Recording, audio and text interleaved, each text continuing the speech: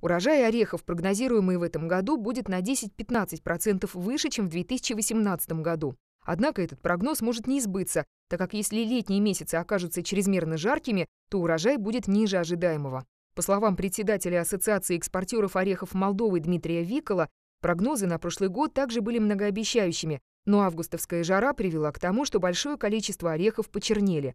Отметим, что на долю внутреннего рынка приходится 2%, остальной объем продукции уходит на экспорт.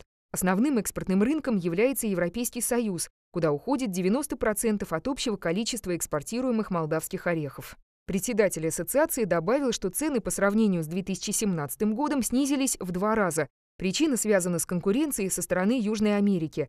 Например, Аргентина продает орехи по очень низкой цене. Дмитрий Викл также упомянул закон, запрещающий ранний сбор орехов, отметив, что он хорош, но в основном существует лишь на бумаге, потому что никто не может проверить его соблюдение. Ранние орехи пользуются спросом у производителей сладостей из таких стран, как Польша или Франция. И, как подчеркивают в ассоциации, все, что может сделать Молдова, это запретить экспорт зеленых орехов в бочках.